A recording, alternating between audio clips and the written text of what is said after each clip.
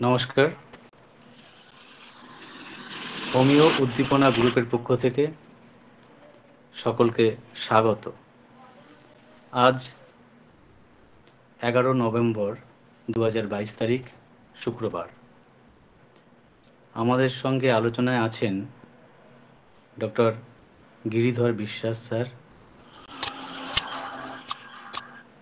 আজকের আলোচনার বিষয় শিশু মনের কথা ও হোমিওপ্যাথি চিকিৎসা। স্যারের পরিচয় আর আমরা নতুন করে দেব না। স্যার আমাদের গুরুজন এবং আজকে স্যারের কাছ থেকে শিশু মনের কথা এবং হোমিওপ্যাথি চিকিৎসা সম্পর্কে আমরা বিস্তারিত জানব। এই বলে আজকে স্যারকে বলি ক্লাসটি শুরু করার জন্য। স্যার, ক্লাস শুরু অভিনন্দন হোমিও উদ্দীপনা গ্রুপকে। অভিনন্দন আমাদের সঞ্চালক রবীন্দ্র রায়কে।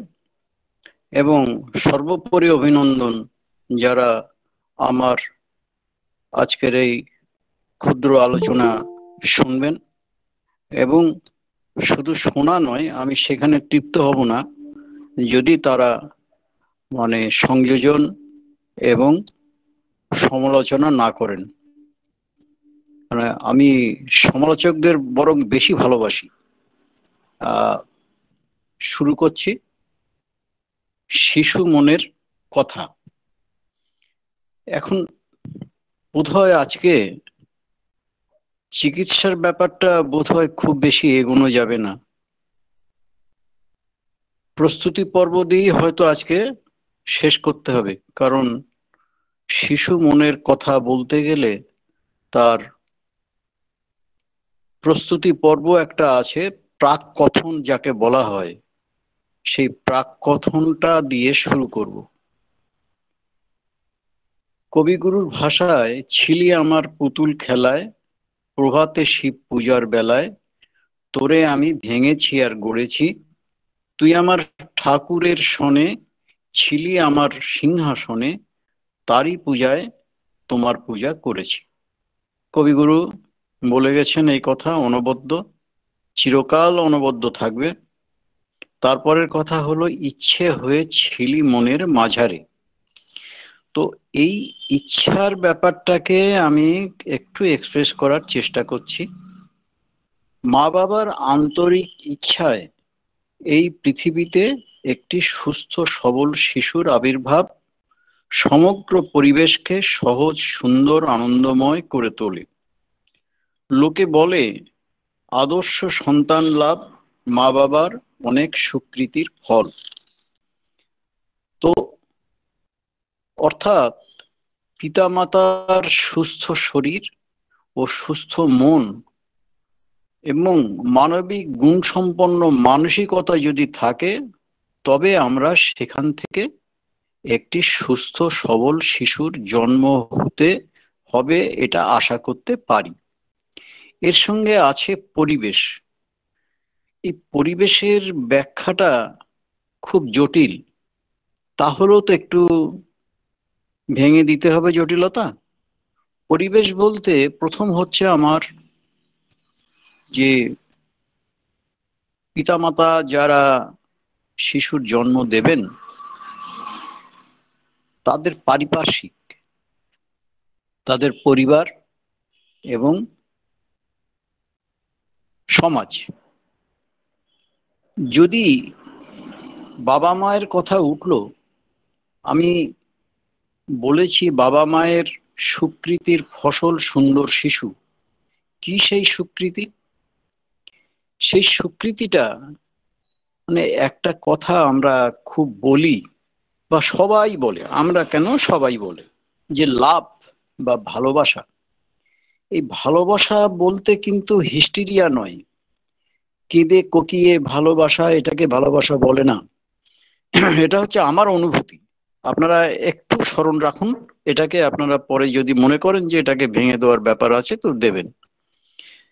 ভালোবাসা বলতে আমি যা বুঝি আর কি, ভালোবাসা হচ্ছে পারস্পরিক পরিপূরণ বা পরিপূরক। আমি আমার স্ত্রীর জন্যে কতটুকু ভাবছি, সঙ্গে সঙ্গে উল্টো দিক থেকে একইভাবে বলতে হবে, আমার স্ত্রী আমার জন্য কতটুকু ভাবছে এবং এই ভাবনার পরিপূরণ করাটাই হচ্ছে লাভ। এটা হচ্ছে আমার অনুভূতি। আমি তোমাকে খুব ভালোবাসি, ইত্যাদি ইত্যাদি। আমাকে একটু অমুকটা কিনে দাও, তমুকটা কিনে দাও হ্যাঁ। বা তুমি আমার স্ত্রী আমার জন্য প্রচণ্ড সেবা করবে, ইত্যাদি ইত্যাদি। এইগুলো কিন্তু ভালোবাসা নয়। সেবা করার দরকার হলে অবশ্যই সেবা করবে। সেখানে স্ত্রী স্বামীকে সেবা করতে পারে, স্বামীও স্ত্রীকে সেবা করতে পারে বিভিন্নভাবে। হুম, কিছু কাজ করে দিয়ে এটা করতে পারে। আচ্ছা এইবার কথা হচ্ছে যে ভালোবাসা হলো পারস্পরিক পরিপূরণ বা পরিপূরক। এটা হচ্ছে প্রাথমিক শর্ত। এই শর্ত যদি না থাকে, তাহলে কিন্তু একটা সুন্দর শিশু যতটা সেই সুন্দরের তো একটা মানে ইয়ে আছে, সীমা রেখা আছে সেই সীমা বোঝানো যাবে না। কতটা হলে কতটা সুন্দর। এটা খুব কঠিন ব্যাপার, আপনাদের কিছুটা বুঝে নিতে হবে। বা কিছুটা বোঝার চেষ্টা করতে হবে। শুধু বুঝে নিতে হবে বললে সহজ হয় না, বোঝার চেষ্টা করতে হবে এবং পারিপার্শ্বিকগুলো দেখতে দেখতে দেখতে দেখতে আমাদের একটা ধারণা তৈরি হবে। তাহলে প্রথম হচ্ছে ভালোবাসা। ভালোবাসার আর একটা সব থেকে বড় বিষয় কি আছে? যে একে অন্যের প্রতি বিশ্বাস। এটা হলো ভালোবাসার একটা খুব বড় শর্ত। আমরা দুজনে একসঙ্গে সংসার করছি। কিন্তু কেউ কাউকে বিশ্বাস করি না। এখানে কিন্তু এই বিশ্বাস না করার ব্যাপারটা এবং উভয় পক্ষ থেকে যদি কেউ কাউকে বিশ্বাস না করি, তাহলে কিন্তু সেখানে ভালোবাসা বলে কিছুই থাকবে না। যা থাকবে শুধু সন্দেহ। তাহলে কি হলো? এই এরপরে আসছি যে এই ভালো লাভ এবং পরিবেশের ব্যাপারটা পরে আর একটু বিস্তারিত বলব। এখন শুধু নিজের ব্যক্তিগত ব্যাপারগুলোকে একটু বলি। এবং এই সন্তান নেওয়ার যে ইচ্ছাটা, সেই ইচ্ছাটা উভয়ের মধ্যে প্রকট থাকতে হবে। এখানে মায়ের গুণাবলী অনেক অনেক শ্রদ্ধার দাবি করে। কেন? মায়ের গুণাবলী শ্রদ্ধার দাবি করে, তার একটাই কারণ হচ্ছে, আপনারা দেখবেন যে একটা মা, একটা শিশুর জন্য কতটা ইগার মানে উৎসুক সে থাকেন। ও সেখানে মা হচ্ছে সন্তান ধারণ করে তো? মা সন্তান ধারণ করে, দুশো আশি দিন তাকে গর্ভে ধারণ করে, ধারণ করার পর সেখানে অতি কষ্টে বা কষ্ট পেয়ে ভূমিষ্ঠ হয়। এবং সেই ভূমিষ্ঠ হওয়ার পরে মা কিন্তু সমস্ত কষ্টগুলো ভুলে যায়, যদি দেখে যে একটা সুস্থ শিশু তার জন্ম হয়েছে। তাহলে উল্টো দিক থেকে আবার বলতে হবে যে অনিচ্ছার সন্তান বা অবাঞ্ছিত শিশু এই জগতে নিজেকে প্রতিষ্ঠিত করতে পারে না। আমার ইচ্ছা ছিল না কিন্তু একটা হয়ে গেছে। হ্যাঁ মা কিন্তু ওটাকে অনেকটা সামাল দিতে পারে। তা কতটা পারবে সেটা মায়ের ইচ্ছা শক্তির উপরে নির্ভর করে। যে তার ইচ্ছা শক্তিটা কতটা প্রবল। তো এই যে বিষয়গুলো, এই বিষয়গুলো কিন্তু আজকে বৈজ্ঞানিক সত্য বলে প্রমাণিত হয়েছে। শুধু এটা আমার মুখের কথা নয় অনেক পণ্ডিত বিদ্যজন এবং মনোবিজ্ঞানীদের কথা। পরিবেশের যে প্রভাবের কথা বলেছি তা খুবই জটিল। সেটা হচ্ছে যে আজকে আমাদের পরিবেশ কেমন অক্সিজেনের অভাব, কার্বন ডাইঅক্সাইডের প্রাদুর্ভাব বেশি, তারপরে রাজনৈতিক পরিবেশ, তারপরে সামাজিক পরিবেশ আমাকে কতটা উৎপীড়িত করবে তার উপরেও অনেকটা কিন্তু নির্ভর করছে। কিন্তু আমি একটা বিষয়ে বোধহয় না বলে পারছি না, তার মধ্যে দিয়েও তো কিছু ভালো শিশু জন্মাচ্ছে। এই যে জন্মানোর ব্যাপারটা, সেটা হচ্ছে আমরা ওষুধের দিকটা পরে আসব। আজকে হয়তো ওষুধের ব্যাপারটা বেশি কিছু বলতেও পারব না। তো এই যে ব্যাপারটা ব্যাপারটা হচ্ছে যে মানে এই প্রাকৃতিক পরিবেশ বা রাজনৈতিক পরিবেশ বা আরও অনেক পরিবেশ আপনারা যেগুলোকে বলতে পারেন, সেই পরিবেশের যদি একটা বাজে প্রভাব পিতামাতার উপরে পড়ে, তাহলে কিন্তু সন্তান ভালো যতটা হতে পারত, ততটা হয়তো হতে পারবে না। এই প্রভাবের মধ্যে পড়ে গিয়ে হয়তো দেখা যাবে সন্তানের যে যতটা ভালো সন্তান বলে আমরা আশা করি আর কি, ততটা হয়তো হবে না। কিন্তু আমার মনে হয়, মায়ের ইচ্ছা শক্তির ওপরে কিন্তু সেটা অনেকটা বেশি সে কাটিয়ে এনে আনতে পারে। অনেক কষ্টের মধ্যে দিয়েও একটা অনেক মা দেখা গেছে যে একটা আদর্শ সন্তানের জন্ম দিয়েছে। এই জায়গায় আমি আরেকটু না বলে পাচ মানে বলতে খুব ইচ্ছা করছে আর কি এ বিষয়ে আমি যেটা ভাবি আর কি, সেটা একটু বলার চেষ্টা করছি। সেটা হচ্ছে সাধারণ মানে এই যে একটা সময় গেল, যে সময়ে আমরা ব্রিটিশের অত্যাচারে অত্যাচারিত, চারিদিকে রাজনৈতিক চারিদিকে রাজনৈতিক পরিবেশ খুব খারাপ, সামাজিক পরিবেশ খুব খারাপ, তার মধ্যে দিয়েও দুজন মানুষের কথা আমরা বলব। তারা তো জন্মেছেন। সে দুজন কে কে? চারিদিকে যেখানে বিপ্লবীরা ফাঁসির কাটে যাচ্ছে, ফাঁসির দড়ি দড়ি গলায় দিয়ে তারা নিজেদের জীবনকে নিজেদের জীবন ইয়ে করছে, উৎসর্গ করছে হ্যাঁ যেখানে আমাদের ইংরেজরা নানাভাবে, নানান দিক থেকে আমাদেরকে উৎপীড়িত করছে, সেই সময় আমি দুজন মানুষের কথা তুলে নিয়ে আসব। সেই দুজন মানুষ আপনারা অনেক মানুষের কথা বলতে পারবেন। আজ সময়ের তো অভাব। তো এখন দুজন মানুষ, একটা হচ্ছে ঈশ্বরচন্দ্র বিদ্যাসাগর আর একজন হচ্ছে রাজা রামমোহন রায়। এরা তো ওই একটা দুর্দান্ত যে রাজনৈতিক পরিবেশ, দেশীয় অবস্থা সেখানে যেখানে এত খারাপ। কিন্তু সেই সময়টা দেখুন, শিল্পী, তারপর কি শিল্পী? সংগীত শিল্পী, বাদ্যশিল্পী, তারপরে ধরুন লেখক, কত মানুষ জন্মেছে। তার মধ্যে বিদ্যাসাগর জন্মালেন, তার মধ্যে জন্মালেন আমাদের রাজা রামমোহন রায়। তো এরা কি জন্মেছে তাদের মায়ের ইচ্ছা শক্তি এখানে কিন্তু এই ইচ্ছা শক্তিটাকে আমি একটু বড় জায়গায় নিয়ে যাচ্ছি। মানুষ যেখানে সারা জাতি চাইছে, সমস্ত জাতি যেখানে চাইছে যে সতীদাহ প্রথা উচ্ছেদ হোক, সেই যে আমাদের দেশ ও মাতৃকা, আমাদের জাতির মা যেখানে চাইছে, সেই চাওয়া সমস্ত মানুষের মধ্যে যে একটা কি বলব, সমস্ত মায়েদের মধ্যে যে চাহিদা তৈরি হয়েছিল, তার মধ্যে দিয়ে রাজা রামমোহন রায় জন্মেছিলেন। তার মধ্যে দিয়েই যে বিধবাদের ক্রন্দন, সমস্ত আমরা তো পুরুষ, আমরা মহিলা, মেয়েদের মনের কথা সবটা জানতে পারি না। যেখানে পুরুষতান্ত্রিক সমাজ, সেখানে সমগ্র বিধবাদের যে ক্রন্দন, সেই ক্রন্দনটাকে মানে নির্বাপিত করার জন্যে সেই সমাজে মা, সেই জাতির মা, সমস্ত জাতির যে মায়েদের যে ক্রন্দন নির্বাপিত করার জন্য বিদ্যাসাগর জন্মেছিলেন। তো এটা একটু বলে রাখলাম। মানে এই যে ইচ্ছা শক্তির কথা বলতে গিয়ে এই কথাটা বলতে হলো, যদি না বললে বোধ হয় আমার ভালো লাগতো না। আপনারা এই কথাটাকে যদি পারেন, একটু আলাপ আলোচনা করে যদি মনে হয় যে, না, এটাকে, এটা ঠিক বলা হয়নি, তাহলে আপনারা অবশ্যই বলবেন। আজ পর্যন্ত এরপর কি হলো? বাচ্চা তো,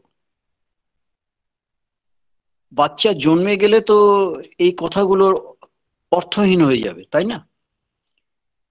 বাচ্চা জন্মানোর আগে তাহলে যে আমাদের এই ব্যাপারগুলো আমাদেরকে বুঝতে হবে এবং কি করতে হবে? তখন আমরা যদি বাচ্চা জন্মে গেলে জন্মের পরবর্তী অধ্যায় শুরু হবে। তা আজকে জন্মানোর আগ পর্যন্তই থাক। তাহলে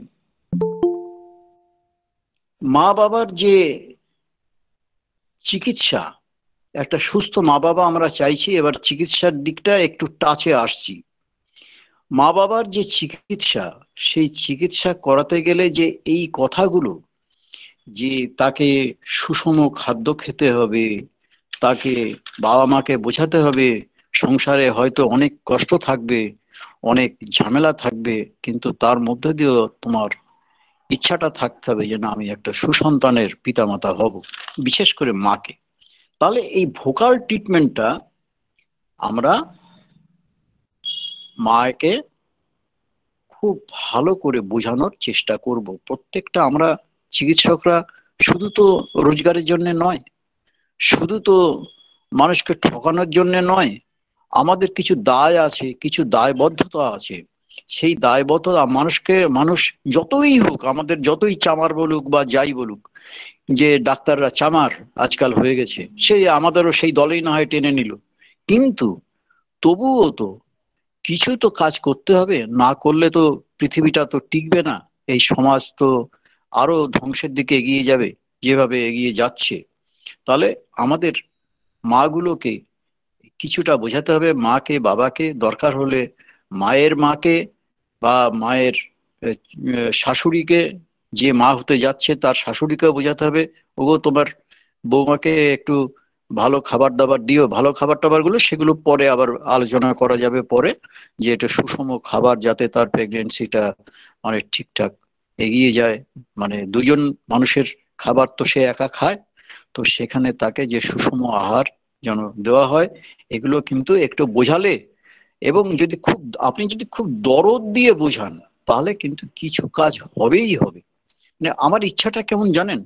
যে আমাদের চিকিৎসকরা পাণ্ডিত্যের সাথে অধ্যাবসায় দিয়ে, দরদ দিয়ে তার রোগীকে মনের তার রোগীর মনের ওপরে একটা প্রভাব বিস্তার করবে। প্রভাব বিস্তার করা, আপনি যদি দরদ থাকে পেশেন্টের প্রতি, আপনি যদি মনে করেন যে আমি এই কাজটা মানে আমি ত্বরান্বিত করব বা এই কাজটা আমি করব, তাহলে আপনি সম্পূর্ণ ইয়ে না হন ফলপ্রসূ না হোক, কিন্তু কিছু না কিছু হবেই। তো প্রভাব বিস্তার করুন এবং তাদেরকে বোঝাতে চেষ্টা করুন। মানে এইটা আমার ইচ্ছা যে আমার ডাক্তাররা এগুলো করুক এবং অর্ধেক চিকিৎসা কিন্তু এখানেই হয়ে যাবে। বাকি চিকিৎসাটা সেখানে ওষুধের ব্যবস্থা করতে হবে। তাহলে এবারে একটু আমাদের হোমিওপ্যাথি চিকিৎসার দিকে আসি। আমি খুব বেশিক্ষণ বলব না। আমার ইচ্ছা আজকে বেশ কয়েকজন দেখলাম স্টলওয়ার্ট আছেন। তারা আলোচনা করবেন, করে বিষয়টাকে, এই মনস্তত্ত্বর দিকটাকে আরও সমৃদ্ধ করবেন। চিকিৎসার দিকটা খুব বেশি আজকে না বললেও চলবে, আমি একটু জাস্ট মানে ইয়ে করে যাচ্ছি, সূচনা করে যাচ্ছি। যেহেতু বংশগতি, আমরা কি বলি? বংশগতি হ্যাঁ? হেরিডিটি এবং হেরিডিটি হেরিডিটি এবং এনভায়রনমেন্ট দুটোই আমাদের যেহেতু মানে আমাদের স্বাস্থ্যের জন্যে এবং আমাদের ভাবি সন্তানের জন্যে খুবই প্রয়োজন যে এই দুটোকে সুস্থভাবে রাখা। তাহলে আমরা কি করতে পারি আমাদের হোমিওপ্যাথি চিকিৎসকরা? এই বংশগতির জায়গায় আমাদেরকে ফ্যামিলি হিস্ট্রিটা দেখা ফ্যামিলি হিস্ট্রি দেখাটা খুবই জরুরি। এবং এই ফ্যামিলি হিস্ট্রি দেখতে গিয়ে আমরা কি করব? একটা কেস টেকিং করব। তাদের কেস টেকিং এ কীরকম হবে? বর্তমান সেই যিনি মা হতে যাচ্ছেন বা মা এখনও গর্ভধারণ করেননি, কিন্তু আপনার পেশেন্ট তারা চাইছে, তারা অনেক সময় বলে, আজকালকার মেয়েরা বলেই ফেলে, ডাক্তারবাবু এখন একটু বাচ্চা নিতে চাইছি আপনি কি বলেন? এরকম বলে বলে, প্রচুর পেশেন্ট বলে। আমাকে তো অন্তত অনেকে বলে কাকে কেমন বলে আমি জানি না, তবে আমার মনে হয় মানে সবাইকেই বলে। তো কেস টেকিং করতে হবে। কেস টেকিং করে তার বংশের ইতিহাস, তার বর্তমান ইতিহাস, তার নিজের রোগের past history past history family history তারপরে তার খাদ্যাখাদ্যের ইচ্ছা, অনিচ্ছা, যেমন যেমন করে কেস টেকিং করা হয়, সমস্তগুলো করুন। করে তারপরে যদি কোনো মাজমেটিক মেডিসিন বা কনস্টিটিউশনাল মেডিসিন কিছু যদি আসে তাহলে গর্ভ আসার আগে বাবাকে এবং মাকে প্রত্যেককেই আপনি ট্রিটমেন্ট করে দেবেন। বলবেন হয়তো যে আরও কিছুদিন ওয়েট করুন। আরও আমি যখন বলব তখন আপনারা এই ব্যাপারটাকে গ্রহণ করবেন। এবং আমাদের যত রকমের নজরগুলো আছে সেগুলোকে আমরা ভাববো। তার কনস্টিটিউশনের যে ইয়েগুলো আছে সিফিলিটিক, সাইকোটিক, তারপরে আরও আছে টিউবারকুলার, সমস্ত ওষুধগুলোর মধ্যে আমরা খুঁজব যে ওই মায়ের সাথে কোনটা বা ওই বাবার সাথে কোনটা ম্যাচ করে। সেই ম্যাচ করার করে, করার পরে আমরা সেই ওষুধগুলো দেব এবং আমার যেটা মনে হয়, যত যেমনই ম্যাচ করুক আমরা তো কিছু ওষুধ তো দেবো তাকে এবং সব থেকে বড় কথা হচ্ছে একটা অ্যান্টিসোরিক মেডিসিন কিন্তু তাকে এই গর্ভাবস্থায় আমরা দেব। এবং সেই আপনারা এখনই হয়তো প্রশ্ন করবেন যে আমার নবীন চিকিৎসক ভাইরা হয়তো অনেক প্রশ্ন করবেন, যারা সিনিয়র আছেন তাদের কাছে এটা কোনো ব্যাপার না। যে নবীন চিকিৎসকরা হয়তো প্রশ্ন করবেন যে কি পোটেন্সি দেব? এখন পোটেন্সি সিলেকশনের ব্যাপারে যেটা অর্গাননে বলা আছে সেটা হচ্ছে যদি দেখা যায় যে হাইলি ইন্টেলিজেন্ট তাহলে আমরা সেখানে টু হাই পোটেন্সি দেব। যদি দেখি যে মিডিয়াম ইন্টেলিজেন্ট তাহলে বা তার ইমিউনিটিটা মিডিয়াম সেখানে আমরা মিডিয়াম পোটেন্সি মিডিয়াম হাই দেব এবং যদি দেখি একটু মানে বেশ দুর্বল মানসিকতা এবং তার ইন্টেলিজেন্সি দুর্বল, তাহলে আমরা তাকে মানে মানে high potency thirty two hundred ইত্যাদি ইত্যাদি করতে পারব দিতে পারব। এটা এটা স্টল ওয়াটার একটু আলোচনা করবেন পরে দরকার হলে। আর একটা জায়গা একটু বলার বলার লোভ সামলাতে পাচ্ছি না। আমি একজন চিকিৎসকের নাম করব। সেই চিকিৎসক ছিলেন ডাক্তার নরমান বেথুন। নরমান বেথুনের আগামীকাল বারো নভেম্বর তার বিরাশিতম মৃত্যু দিবস। এই নরমান বেথুন ছিলেন একজন মানে শল্য চিকিৎসক থোরাসিক চে মানে থোরাসিক সার্জেন এই থোরাসিক সার্জেন নরমান বেথুন, তিনি আমার ভাষায় তিনি একটু খ্যাপা টাইপের লোক ছিলেন। এবং বিশ্ববিখ্যাত একজন শল্য চিকিৎসা থোরাসিক থোরাসিক সার্জেন তিনি কখনো কানাডায়, কখনো চায়নায় পৌঁছে গেছেন। তার চিকিৎসার ব্যবস্থা নিয়ে যুদ্ধক্ষেত্রে। এই নরমান বেথুন এমনই খ্যাপাটে লোক ছিলেন। তিনি যখন জানতে পারলেন যে তিনি টিভিতে আক্রান্ত, তিনি তার স্ত্রীকে বললেন, তুমি ইয়ে আমরা মিউচুয়াল ডিভোর্স করে ফেলব। এবং মিউচুয়াল ডিভোর্স করতে তার স্ত্রী চাইছে না। কিন্তু সে বলছে, না ডিভোর্স করো। ডিভোর্স না করলে হবে না। ডিভোর্সটা করতেই হবে। তারপরে আবার কি বল, কি করলেন? তিনি তার সহকর্মীদের বললেন যে, তোমরা আমার বুকটা ইয়ে করো অপারেশন করো। করে যে টিউবারকুলার যে ইয়েটা থাকে, কি বলব, ওটাকে যে গুটি থাকে আর কি সেটাকে তোমরা অপারেশন করে বের করো। তিনি ভালো হলেন। ভালো হওয়ার পরে আবার স্ত্রীর কাছে গেলেন। গিয়ে বললেন, যে, আমরা আবার পুনর্বিবাহ করব। তো এই ধরনের খ্যাপাটে লোক ছিলেন। আমার কি মনে হয়েছে যে ওই ডাক্তারবাবু টিউবারকুলার ডায়াথিসিসের লোক ছিলেন। যার জন্য তিনি অশান্ত। টিউবারকুলার ডায়াথিসিসের মানুষ যেমন অশান্ত হয়, সে ঘুরে বেড়াতে চায়। হ্যাঁ সে এক জায়গায় কিছুক্ষণ থাকতে পারে না। তো নরমান মিথুনকে নমস্কার জানাই। তিনি থ্রাসিক সার্জেন কাল তার বিরাশিতম মৃত্যু দিবস একটা অনুষ্ঠানে আমাকেও যেতে হবে সেখানে। তো সেই টিবারকুলার ডায়াথিসিস যদি হয়, আমরা তাকে টিবারকুলিনাম দিয়ে আমার মাকে, যে মা মা হতে যাচ্ছেন বা গর্ভাবস্থা টিবারকুলার টিবারকুলিনাম দিয়েও আমরা তাকে সাহায্য করতে পারি। তাহলে তার যে ভাবি সন্তান যে আসছে, সে কিন্তু ওই অল্পেই টিবারকুলি, টিবারকুলিনাম বা ব্যাসিলিনামের মতো একটুতেই সে ঠান্ডার লাগার প্রবণতা তার থাকবে না এবং সে অনেকটা সুস্থ, সবল হয়ে মানে সমাজের কাজে অংশ নিতে পারবে। এই পর্যন্ত বলে আজকে আমি শেষ করলাম। সবাইকে ধন্যবাদ, সঞ্চালককে ধন্যবাদ। আপনারা যারা শুনলেন, স্টলওয়ার্ড বেশ কয়েকজন আছেন, তাদেরও ধন্যবাদ। যারা নবীন, তাদেরকেও ধন্যবাদ। নবীনরাই তো আগামী দিন, আমরা আর কদিন আছি। তো আগামী দিনে তারা এই তাদেরকে আমি একটা জিনিস বলছি। ভালো করে যখন আপনি সবটা লেকচার না শুনুন, আমি নবীনদের বলছি, প্রবীণদের অবশ্যই বলছি না। নবীনদের বলছি যে একটা লেকচার যে যখনই দেখ, যেমনই লেকচার হোক, আপনি যতক্ষণ শুনতে পারেন, হয়তো সবটা শুনতে পারলেন না, দশ মিনিট শুনবেন। দশ মিনিট শোনার মধ্যে দিয়ে আপনি দেখবেন যে সেখানে কোনো প্রশ্ন উঠানো যায় কিনা। যদি আপনার মনে প্রশ্ন জাগাতে না পারা যায় তাহলে কিন্তু আপনাকে দিয়ে খুব বেশি দূর এগোনো যাবে না। মানে একটা ছাত্রের সব থেকে বড় বিষয় হচ্ছে যে কিছু মনের মধ্যে যদি প্রশ্ন না জাগে, আমি একটা কথা বারবার বলি যে অন্ধ আনুগত্য অন্ধ আনুগত্য হচ্ছে দাসত্ব। এই অন্ধ আনুগত্যটাকে ছেড়ে বেরিয়ে নিজে পড়াশুনো করে, নবীন ভাইরা নিজেরা পড়াশুনো করুন, শুধুমাত্র লেকচার শুনলেও হবে না পড়াশুনো করতে হবে এবং বিভিন্নভাবে পড়াশুনো করবেন। শুধু আপনার ম্যাথমেটিক্যাল নয়, শুধু আপনার অ্যালার্ট সাবজেক্ট নয় মানে সাহিত্যের অনেক জায়গায় যেমন ফটিকের যে গল্পগুলো আছে, এক বাও মেলে না, দো বাও মেলে, এ না হ্যাঁ?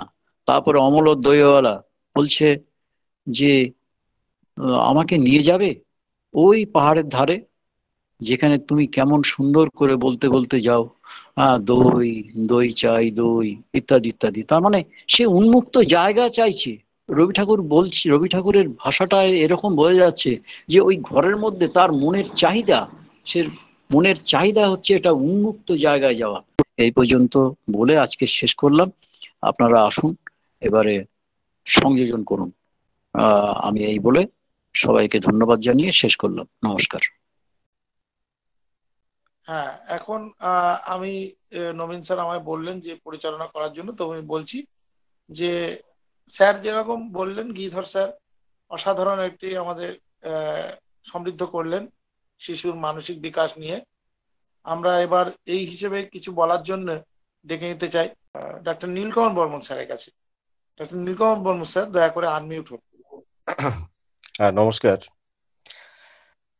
একটা অনুমান করেছিলাম যে একটা ভালো কিছু পাবো, কিন্তু সেটা যে এরকম একটা অস্বাভাবিক দর্শন চেতনাপূর্ণ এবং দার্শনিক চিন্তা ভাবনার সাথে যে চিকিৎসা শাস্ত্রকে মিলিয়ে ফেলা যায়, সেটা কিন্তু আমি কখনোই ভাবতে পারিনি। সেই জন্য গিরিধর বিশ্বাস স্যারকে অজস্র, বিনম্র শ্রদ্ধা জানাচ্ছি। কারণ আমি কখনো ভাবিনি যে এইরকম ভাবে একটা উপস্থাপনা করা যায়। আমার কাছে প্রচণ্ড নতুনত্ব লেগেছে, খুব ভালো লেগেছে। এখানে দেখুন, সংযোজন করাটা খুব রুচিসম্মত হবে না। কিন্তু আমি জানি যে আবার আমি যদি কিছু না বলি, গিরিধর বিশ্বাস আবার একটু দুঃখ পেতে পারেন। এটা জাস্ট একটা মজার কথা আর কি। উনি যখন যেভাবে প্রথমটা শুরু করেছিলেন, তখন একটা কথা আমার খুব মনে পড়ছিল, যখন উনি বিদ্যাসাগরের জায়গায় কথাটা বলছিলেন আর কি, বা রামমোহন রায়ের কথাটা একটা প্রবাদ আমার মনের মধ্যে তখন জাগছিল যে স্যার তো এটা বলতে পারতেন। কি? যেমন একটা কথা আছে যে কুপুত্র যদি বা হয়, কুমাতা কখনো নয়। কুপুত্র যদি বা হয়, কুমাতা কখনো নয়। সন্তান যেভাবেই আসুক না কেন, সন্তান খারাপ হতে পারে, কিন্তু একজন মা কিন্তু কখনোই খারাপ হতে পারে না, এটা কিন্তু আমাকে ভাবতে হবে। আর একটা জিনিস ভাবতে হবে, উনি যেটা বলছিলেন যে মায়ের চেয়ে বাবার মানে বাবার চেয়ে মায়ের দায়িত্ব বেশি, ঠিকই আছে। কিন্তু এটা আমাদেরকে বিশ্বাস করতে হবে বা দৃঢ়তার সাথে অঙ্গীকারবদ্ধ হতে হবে যে ঘুমিয়ে থাকে শিশুর পিতা, সব শিশুরই অন্তরে। এই দুটো যদি সংযুক্ত হতো, তাহলে এই লেকচারের মাত্রাটা, লেকচারের মাত্রা তো দুর্ধর্ষ জায়গা পৌঁছেছে। যেহেতু এডিটিং ফেডিটিং এর একটা চিরদিন চিন্তা ভাবনা আমার থেকে গেছে, তাই যখন যেখানে পারি একটু ফুটনোট ঢুকিয়ে দেওয়ার চেষ্টা করি। অন্য কোনো স্যার হলে তো আমি ফুটনোট ঢোকাতামই না, কারণ অতটা ধৃষ্টতা নেই। আর একটা জিনিস জানি যে গিরিধর বিশ্বাস স্যার আমাকে এতটাই স্নেহ করেন, আমি যদি দু একটা উল্টো পাল্টা বা অসংলগ্ন কিছু বলে ফেলি, উনি সেটাকে আমাকে ক্ষমা করবেন। যাই হোক, একটা জিনিস আমি জানতাম না, বা কোন একটা জায়গায় হয়তো শুনেছিলাম ওই বেতন সাহেবের ব্যাপারটা। এইটা দিয়ে যে একটা উদাহরণ টানা যায় চিকিৎসক জীবনের ক্ষেত্রে, এটা আরও বেশিভাবে আমাদের কাছে প্রাণবন্ত করে তুললো। আমরা টিউবারকুলার ডায়াথেসিস নিয়ে ভেবেছি কিন্তু একটা অদ্ভুতভাবে একজন ব্যক্তি বিশেষ, পৃথিবী বিখ্যাত একজন ব্যক্তি, তার উদাহরণ টেনে এনে যখন উনি উপস্থাপনা করলেন, তখন যেন আমাদের মনের ভিতরে গেথে গেল। আমি তার কোনোদিনই ভুলবো না যে এই টিউবারকুলার ডায়াথেসিসের মায়েদের বা একটা টিউবারকুলার পরিস্থিতিকে কীভাবে কীভাবে জন্মের আগে এবং ওই পরিস্থিতিতে চিকিৎসা করা যায়। আর তবু বেশি বললাম, এবার যেটা বলব সেটা হচ্ছে শ্রদ্ধা, ভালোবাসার কথা উনি বলছিলেন। যেখানে শ্রদ্ধা থাকে, ভালোবাসা থাকে, সেখানে কিন্তু খুব সুগভীর হয়। অতএব আমার গভীর, চিন্তাশীল চিন্তা ভাবনা দিয়ে আমি গিরিধর বিশ্বাস স্যারকে প্রণাম জানাচ্ছি, নমস্কার জানাচ্ছি। আপনি আগামী ক্লাসটা আমাদের আরও প্রাণবন্ত শুধু নয় আরও শিক্ষণীয় করে তুলুন। এই বয়সে এসে আপনার কাছে নতুন কিছু শিখতে চাই। নমস্কার স্যার, ভালো থাকুন। ধন্যবাদ শ্রদ্ধেয় নীলকমল বর্মন স্যারকে। এবার আমরা ডেকে নেব আমাদের মধ্যে উপস্থিত আছেন ডাক্তার এস এম জাহাঙ্গীর স্যারকে। Jahangir S M Jahangir sir দয়া করে একটু আনমিউট হন এবং আজকের এই টপিকের ওপরে আপনি যদি কিছু বলেন। হ্যাঁ, ধন্যবাদ কল্যাণ ঘটক স্যারকে। আসলে গিরিধর বিশ্বাস স্যারের বিষয়ে নতুন করে কিছু বলার নেই। স্যার অসাধারণ পড়ান তবে আজকে নতুন একটি বিষয়ের সূচনা হয়েছে যেটা নীলকমল স্যার বলেছেন। কিছু দার্শনিক চিন্তা ভাবনা আমাদের মধ্যে ঢুকিয়ে দিয়েছেন এই শিশু মনের বিষয়টি নিয়ে। এই জন্য স্যারকে মানে স্যারের কাছে কৃতজ্ঞতাই জানাচ্ছি এই কারণেই। স্যার আমাদেরকে সামনে হয়তোবা আহ, এই জায়গাটিকে আরও পরিষ্কার ভাবে মানে আমাদের শেখার জায়গাটি আরও প্রশস্ত করবেন। এই জন্য সকলকেই ধন্যবাদ। ধন্যবাদ এই গ্রুপকে। স্যার এতটুকুই। ধন্যবাদ ডাক্তার এস এম জাহাঙ্গীর স্যারকে। এবার আমরা যাব ডাক্তার স্বপন বুড়ে স্যারের কাছে। স্বপন বুড়ে স্যার, দয়া করে যদি আপনি এই সম্বন্ধে আপনি কিছু বলেন। আজকের টপিক সম্বন্ধে। আজকের যে টপিকটা ছিল, শিশু মনের কথা ও হোমিওপ্যাথি। তো আজকের আলোচনা শিশু মনের কথায় এখনও ঢোকা হয়নি। তার এখন প্রিলিউড চলছে। তো ফলে কি সংযোজন করব সে তো ভালোই বলেছেন। তো সাবজেক্টটা এখনও তেমন করে ঢোকা হয়নি বলে আমার মনে হয়েছে। পরের দিন হবে। তো স্যার যে ভালোবাসার কথাটা বলেছেন বারবার ফিরে এসেছে। আর মায়ের উপরে যেন দায়িত্বটা বেশি চাপিয়ে দেওয়া হয়েছে।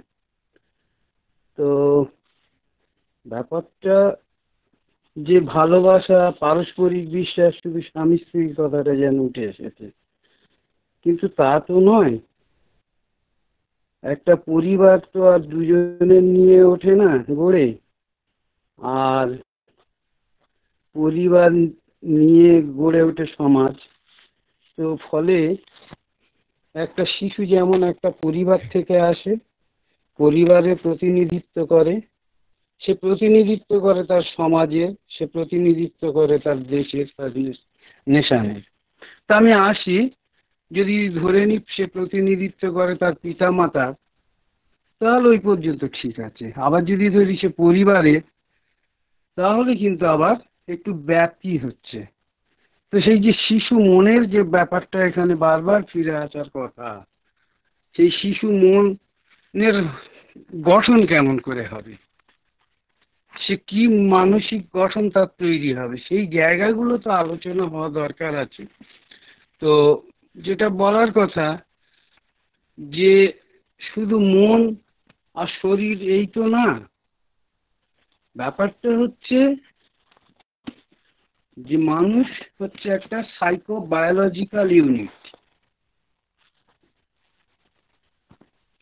একটা সাইকো বায়োলজিক্যাল ইউনিট শরীর এবং তার মন দুটো নিয়েই গড়ে ওঠে। এবং সেটা কি হয়?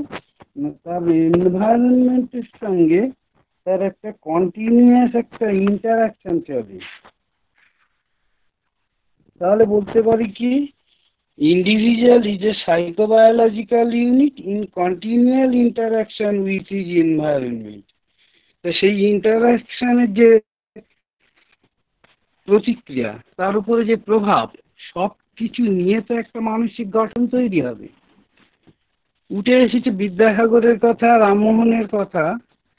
সেই সময়কার যে পারিপার্শ্বিক পরিবেশ, সেটা কিন্তু তাদেরকে প্রভাবিত করেছে। আমরা যদি এজ ওয়াইজ একটা হিসেব করি, ওই সময়টা কিন্তু যে এজ অফ রিজিম তারপরে এসে গেল নাইনটিন সেঞ্চুরি শুরু হলো, তখন হলো প্রগ্রেশন। বহু মনীষীর আবির্ভাব ঘটেছে ওই সময়। যাক, সে কথা, যেটা আবার ঘুরে আসি, শিশু মনের কথা। তো শিশু মনের গঠন হবে, তার একটা সোজা কথা একটা বলি। এই শিশু হচ্ছে এই পৃথিবীর এক নবাগত অতিথি। সে পৃথিবীকে কোনোভাবেই চেনে না, জানে না। অজানা এক জায়গায় এসে গেছে, সে অজানা পরিবেশে আমাদের এক নতুন অতিথি। একজন অতিথিকে যেমন করে আপ্যায়ন করা হয়, একটা শিশু সেই রকম প্রত্যাশা করে। শুধু জন্মলগ্নে একটু উলুধ্বনি শঙ্করধ্বনি দিয়ে তার অভিবাদন করা নয়, তাকে বড় করে গড়ে তোলা, তার সামাজিক বিভিন্ন ঘাত প্রতিঘাতের উপযুক্ত করা বা সেই ঘাত প্রতিঘাতকে বাঁচিয়ে তাকে একজন পরিণত মানব করে গড়ে তোলা, তার মনের বিকাশ ঘটানো, সেগুলো তো ভাবতে হবে। তাহলে সেইগুলো কি হয় সে তার মার চেতনা দিয়ে, বাবার চেতনা দিয়ে, বাবার চোখ দিয়ে, বাবার অনুভূতি দিয়ে সে বুঝতে শেখে এবং সেখান থেকে তাদের যে পারিপার্শ্বিক যে কন্ডিশনিং তার ফ্যামিলি কন্ডিশনিং তার সোশ্যাল কন্ডিশনিং তার রেজিলিয়াস রিলিজিয়াস কন্ডিশনিং সব কিছু মিলে তৈরি হয় কি করব, কি না করব এই রকম একটা তার কিছু মানসিক গঠন তৈরি এটা করা উচিত, ওটা না, এই যে ব্যাপারগুলো গড়ে ওঠে এবং সেইটা তার মনে চিরকাল থেকে যায়। এবং হয় কি বাবা মা একদিন চলে যাবে, কিন্তু বাবা মার সেই টিচিংটা বাবা মার সেই প্যারেন্টাল ইমেজটাকে তার তৈরি করবে তার পার্সোনালিটিকে তার তার যে চেতন মনের যে, তার যে কনসাসনেস তৈরি হয়, এই যে কনসাসনেস তাকে অনেক কিছু করতে যেমন বাধা দেয়, আবার অনেক কিছু করতে সে উদ্বুদ্ধ হয়। এই সব কিছু মিলে যে গঠন, যে তার চেতন মন এবং অবচেতন মন তার মধ্যে যে ইগো সুপার ইগো এই যে গঠনগুলো হয় সেগুলো কিন্তু এই পারিবারিক শিক্ষা থেকে আসে। সবচেয়ে বড় কথা হচ্ছে আমরা একটা শিশু যখন বলব সে কন্যা সন্তান হতে পারে পুত্র সন্তান হতে পারে। ভাবুন তো আজকে আমাদের মানসিকতা একটা ঠিক করি। আজকের কন্যা ভ্রূণ হত্যা হয়। তাহলে আমাদের মানসিক গঠনটা কোন জায়গায়? তারপরে তৈরি হবে আমাদের শিশুর মন। আমরা কি সবাইকে সমানভাবে ভাবতে পেরেছি? কন্যা ভ্রূণ হত্যা করার মতো সেই ভিন্ন মানসিকতাকে বিসর্জন দিতে পেরেছি কি? হ্যাঁ সেটা সেইভাবে আমাদের গঠন করতে হবে সমাজটাকে। আমাদের মানসিকতাকে তৈরি করতে হবে। আরও একটা বড় জিনিস আছে, শুধু সন্তান নেব, মা হব এইটুকু না। তাদের আগে থেকে বাবা মা হওয়ার জন্য ওরিয়েন্টেশন হওয়া দরকার। সেই কাউন্সিলিং সেই ওরিয়েন্টেশনটা কিন্তু আমাদের হয় না। যেটা স্যার বারবার বলেছে ভালো সন্তান পাওয়ার কথা, ভালো ভালো সন্তান ধারণের কথা যেগুলো বলা হয়েছে সেই এইগুলো দিক দিয়ে বিচার করতে গেলে এই জিনিসগুলো কিন্তু হওয়া দরকার। সেই ওরিয়েন্টেশন কিন্তু হয় না। এটা একটা অন্যরা বলুক এবার। ধন্যবাদ স্যার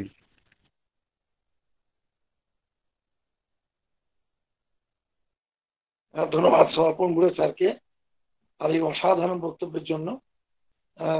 আমরা এরপরে চলে যাব। আমাদের মধ্যে উপস্থিত আছেন ডাক্তার কুণল ভট্টাচার্য স্যারের কাছে।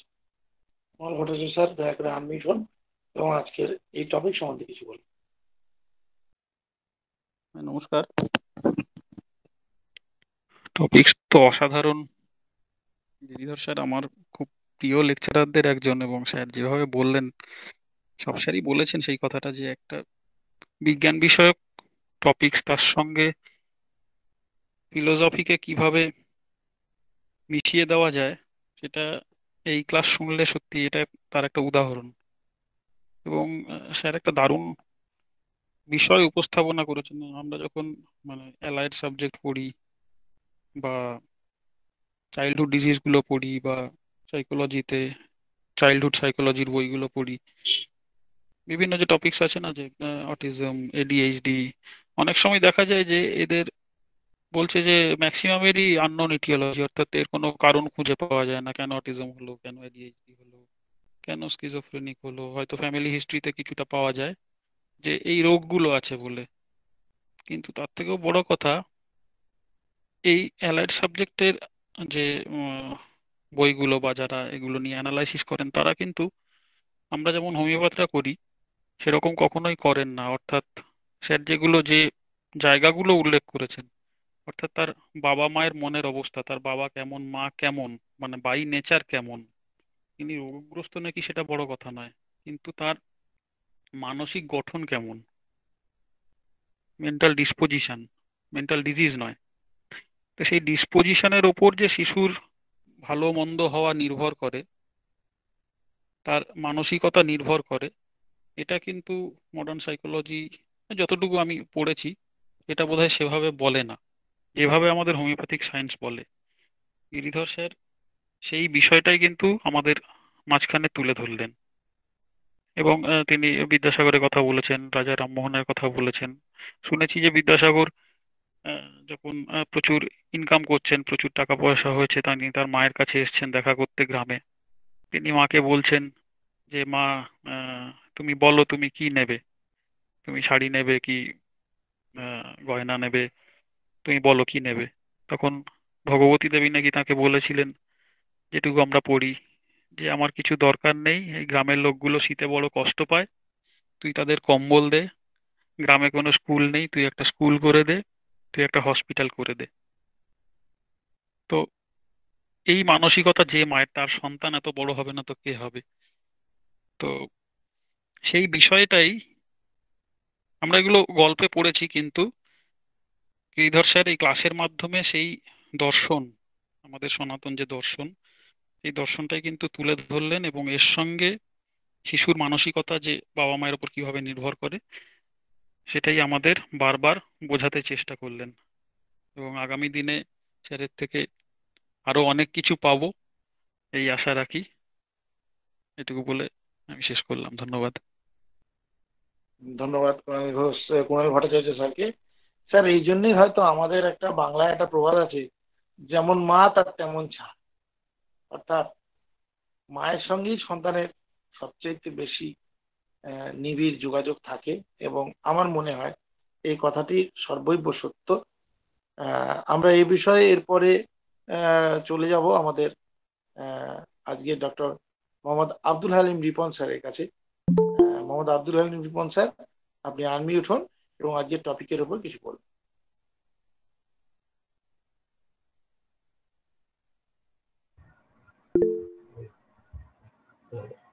আসসালামু আলাইকুম। স্যার আমার কণ্ঠটা শোনা যাচ্ছে কিনা এটা একটু যদি একদম স্যার একদম শোনা যাচ্ছে। ধন্যবাদ স্যার। সবার প্রতি সশ্রদ্ধ সালাম এবং অভিনন্দন। আমি প্রথম দিকের হয়তো দশ মিনিট কিংবা পনেরো মিনিটের কথা শুনতে পাইনি স্যারের আমার দুর্ভাগ্য। তারপরেও যতটুকু শুনেছি সেই জায়গা থেকে বলতে চাই মানে আজকের ক্লাসটির যেমন নীলকমল স্যার বললেন আমি সেই একই সুর ধরে বলতেছি।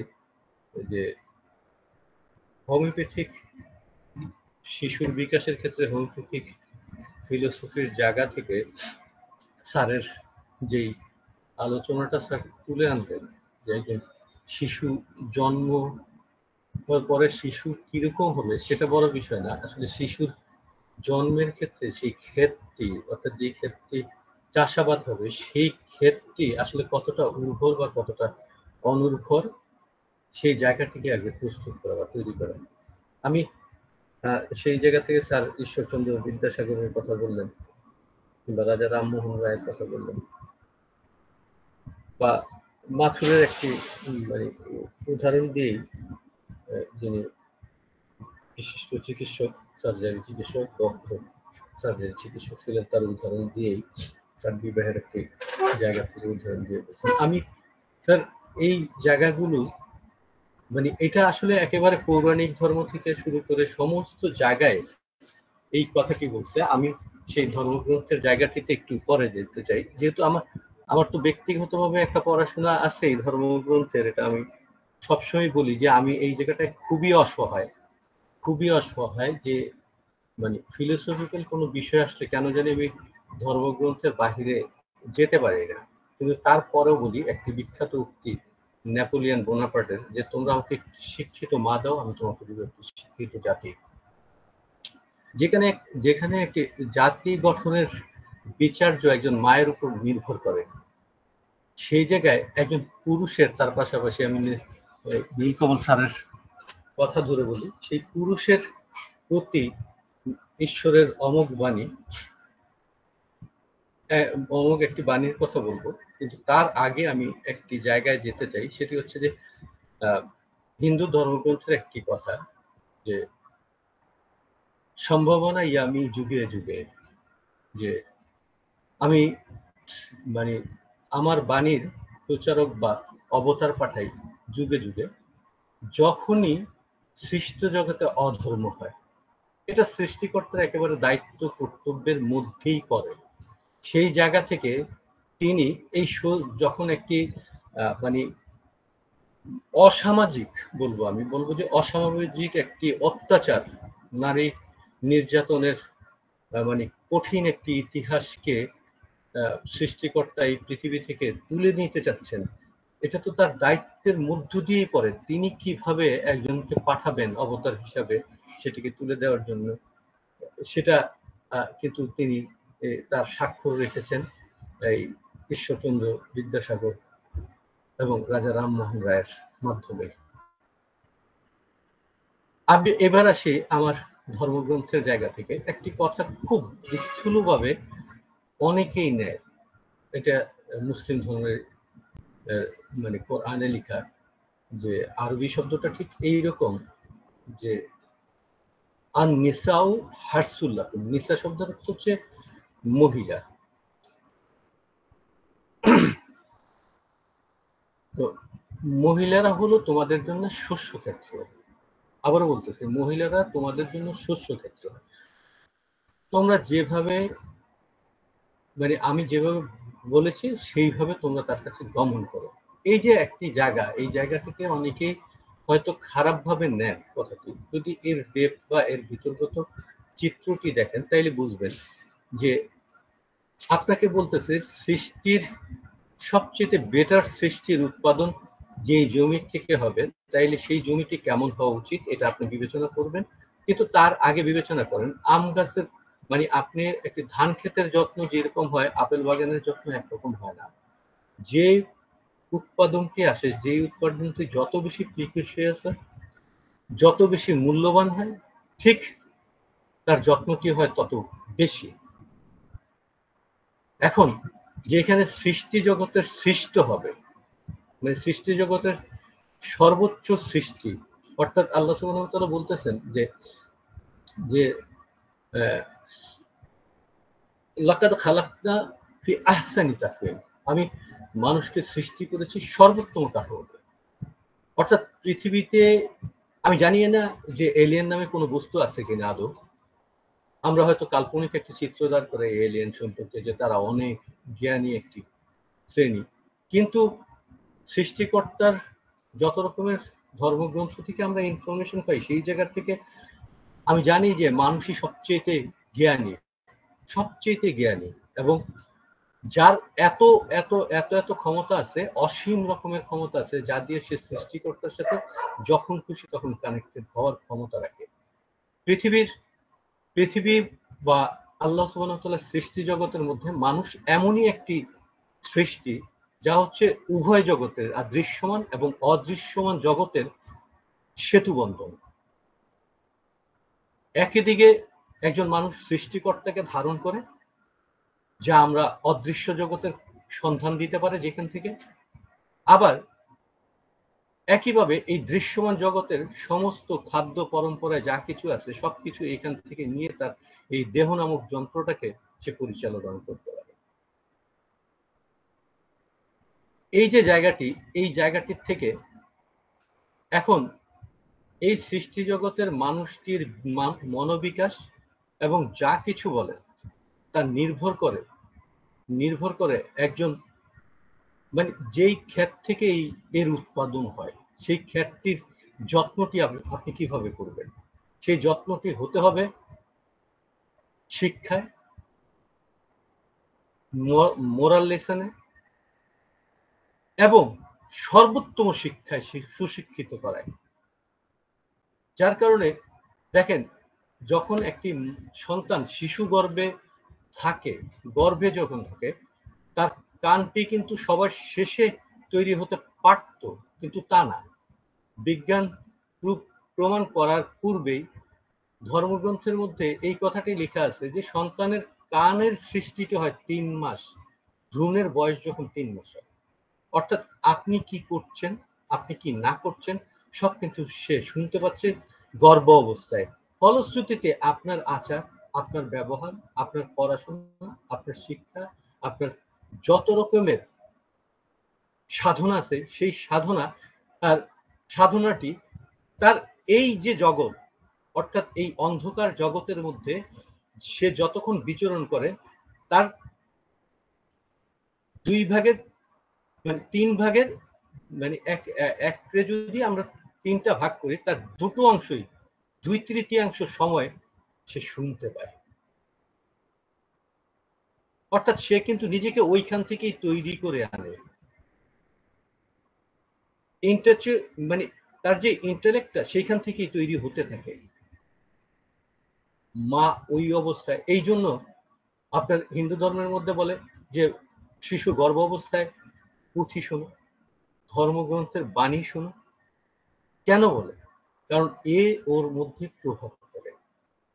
মুসলিম ধর্মে বলে যে, ওই সময়ের থেকেই বেশি বেশি করে কোরআন পড়ো, বেশি বেশি করে সৃষ্টিকর্তার বাণীগুলো তার কান দিয়ে শোনাও। এমনকি সেই শিশুটি যখন ভূমিষ্ঠ হয়, তার কানের মধ্যে সৃষ্টিকর্তাই সর্বোচ্চ, সৃষ্টিকর্তাই সবচেয়ে মহান, এই শব্দটি তার কানের মধ্যে দেওয়া হয়। এভাবে তার মেধার বিকাশ, মেধার মনোনয়নগুলো আস্তে আস্তে তৈরি করা হয়। তো আমি ও সেই স্যারের সুর ধরেই বলব যে, এই জায়গাটি যদি তৈরি করতে হয় তাইলে সেই ক্ষেত্রে পুরুষ কি হতে হবে পুরুষ কি হতে হবে সম্পূর্ণরূপে ইতিবাচক। যদি পুরুষটি নেতিবাচক হয়, তাহলে সেই মহিলাদের জীবনও হবে নেতিবাচক সন্তান হবে নেতিবাচক। সে কিন্তু সেই যে মানে হ্যারিম্যান শেষকালে বলছেন যে ম্যাসমিরিজম করার অধিকারী যে ব্যক্তিটি, সেই ব্যক্তিটি হওয়ার অধিকার তার থাকে না নেতিবাচক পুরুষটির সন্তানের। ইতিবাচক পুরুষের মাধ্যমেই একটা পিউরিফিকেশন তৈরি হয় এবং পিউরিফিকেশনের চেষ্টা করে হিন্দু ধর্মগ্রন্থের যেই কথায় বলে, নির্বাণ লাভ, মুখ্য লাভ। যে ব্যক্তি মুখ্য লাভ করে, অর্থাৎ অমাই ইউকা সুকা নাফসি, যে মনের সংকীর্ণতা থেকে নিজেকে দূর করতে পারে, তার সন্তান দিয়েই এই সৃষ্টি জগতের বিরল পরিবর্তন আসে। ব্যতিক্রম ধর্মী একটি উদ্ভাবন আসে এবং ব্যতিক্রম ধর্মী একটি মানে মোরাল পৃথিবী, নৈতিক পৃথিবীর সৃষ্টি হয়। ধন্যবাদ সবাইকে, স্যার। আমি যদি বেশি ভুল বলে থাকি, আমাকে শুধরাবেন। আমি সকলের প্রতি সম্মান জানিয়ে আমার অভিব্যক্তির জায়গাটি প্রকাশ করলাম। ধন্যবাদ স্যারকে, স্যারের এই আলোচনাটি আসলে আমাকে এইভাবে সামনের দিকে কিছু বলার সুযোগ করে দিলেন। এই জন্য গিরিধর স্যারকে আমি অসংখ্য ধন্যবাদ জানাই। চমৎকার একটি বিষয় তুলে আনছেন। আশা করি যে সামনের দিকে আরও আরও আরও অনেক কিছু স্যারের কাছ থেকে পাবো। ধন্যবাদ, স্যার। আসসালাম ধন্যবাদ ডক্টর মোহাম্মদ আব্দুল হামিদ রিপন স্যারকে। রিপন স্যারের বাগ্মিতা এবং তার জ্ঞান আজকের আলোচনাটাকে একটা অন্য মাত্রায় নিয়ে গেছে বলে আমার মনে হয়। এবারে আমরা যাব ডক্টর সুশীল ঘোষ স্যারের কাছে। ডক্টর সুশীল ঘোষ স্যার আপনি আগে আপনার হাতটা আগে ইয়ে করুন মিউট মিউট করে দিন। হ্যাঁ ধন্যবাদ। এবার আপনি কিছু বলুন সকলকে ধন্যবাদ। শিশু মনের বিকাশ কথাটা শুনতে শুনতে আজকে যে সর্বপ্রথম কথাটা মনে পড়ল, সেটা হচ্ছে আমাদের হিন্দু ধর্মে মহাভারতে অভিমন্যুর কথাটা মনে পড়ল। অভিমন্যুর জন্ম বৃত্তান্ত। অভিমন্যু যখন মাতৃগর্ভে তখন আমরা সবাই জানি অর্জুন উত্তরা সরি সুভদ্রাকে যুদ্ধের গল্প বলছে, কীভাবে বুঝে মানে চক্রভুজে ঢুকতে হয়। মার পেটে অভিমন্যু কিন্তু সেই কথা শুনছে, কারণ সুভদ্রাও তখন কথাটা শুনছে। চক্রভুজে যখন ঢুকছে, সেই অর্জুন যখন বর্ণনা করছে ঢোকা পর্যন্ত অভিমন্যু শুনলো। কিন্তু চক্রভুজ থেকে যখন বেরিয়ে আসতে হবে, তখন সুভদ্রা ঘুমিয়ে পড়েছিল। আর মা ঘুমোবার সঙ্গে সঙ্গে কিন্তু শিশুও ঘুমিয়ে পড়ল মাতৃগর্ভে। তার ফলে চক্রভুজ থেকে যে বেরিয়ে আসতে হবে, সেইটা সে জানলো না। এবং সেটাই তার মৃত্যুর কারণ। যাই হোক মা যখন, মার গর্ভে যখন শিশু থাকে, তখন মার মনের যে অভিব্যক্তি, মার যে চাওয়া পাওয়া ইচ্ছা, সমস্তটাই মার ভালো চাওয়া, মন্দ চাওয়া, খারাপ, ভালো কুক মানে সমস্ত কিছুই শিশুর মনে সেটা কিন্তু একটা গভীর ছাপ পড়ে যায়। আর আমি এক মহারাজের মুখে শুনেছিলাম, নাম বলতে চাইনি তিনি বলেছিলেন, প্রতিটা বাবাই শিশুর জন্ম দেওয়ার সঙ্গে সঙ্গেই মারা যায়। কথাটা শুনে খুব আশ্চর্য হয়েছিলাম। তারপর উনি যখন ব্যাখ্যা করলেন, তখন আমার মনে হয়েছিল, না, উনি ঠিকই বলছেন। অর্থাৎ স্বামী স্ত্রীর যখন সহবাস হয়, সবাই অ্যাডাল্ট কথাটা বলছি, সবাই ডাক্তার, যখন স্পার্ম ইজাগুলেট হয় ভ্যাজাইনার মধ্যে এবং ইউটেরাসের মধ্যে ইয়ে যায় যখন ওভারিকে ইয়ে করে, ফার্টিলাইজ হয় যখন স্পার্ম মানে ইজাকুলেট হয়, তখন মা বাবার যে মনের অভিব্যক্তি অর্থাৎ বাবার যে সত্তা, সেই সূক্ষ্ম সত্তা স্পার্মের মাধ্যমে কিন্তু শিশুর শরীরের বিকাশ ঘটে। তারপর কিন্তু আর বাবার মনের সঙ্গে শিশুর মনের কোনো টাচ থাকে না। ভালো করে বোঝার চেষ্টা করবেন। আমারও বুঝতে খুব প্রথমে অসুবিধা হয়েছিল। আর হ্যাঁ বাবার জন্ম, বাবার বাবার স্নেহ থাকে, মমতা থাকে, সবটাই থাকে। কিন্তু ওই যে সূক্ষ্ম সত্তাটা চলে যাচ্ছে স্পার্মের মাধ্যমে শিশুর শরীরে, সেটা কিন্তু ওই ওই ওই সত্তাটার সঙ্গে বাবার মনের সত্তা কিন্তু ওখানেই কাট। অর্থাৎ ওই জায়গাটাকেই উনি বলতে চাইছেন, ওইখানেই কিন্তু পিতার মৃত্যু ঘটল। পিতা জীবিত সশরীরে আছে, কিন্তু সেই মনের সত্তাটার কিন্তু মৃত্যু ঘটল।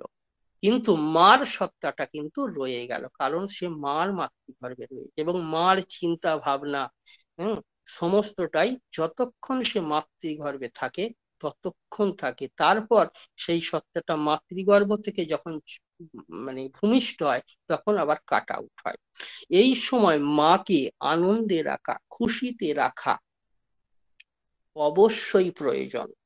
ধর্মগ্রন্থ যে যেমনই যে শিশু যে ধর্মেরই হোক না কেন, সেই ধর্মের ধর্মগ্রন্থের উপদেশ বাণী বা সমস্ত কিছু যদি তার মধ্যে পড়ে, তাহলে শিশু, উত্তম শিশু জন্ম হয়। কারণ mind in the is the vice principal of the body governor of the body sorry মনটাই আসল। আমরা হোমিওপ্যাথিক ডাক্তাররা সবাই এটা বিশ্বাস করি, মানি এবং বিশ্বাস করি। তাই মনের যে প্রভাবটা, মার চিন্তা ভাবনা কিন্তু পড়ে, সেটা আমাদের কিন্তু মহাভারতে খুব স্পষ্ট দারুণ ভাবে বর্ণনা করা আছে অভিমন্যুর ক্ষেত্রে। তাই সুতরাং সেই সময় মার চাওয়া পাওয়া, ভালো মন্দটা কিন্তু বিশেষভাবে গুরুত্ব। বর্তমান দিনে কিন্তু সেটা সম্ভব নয়।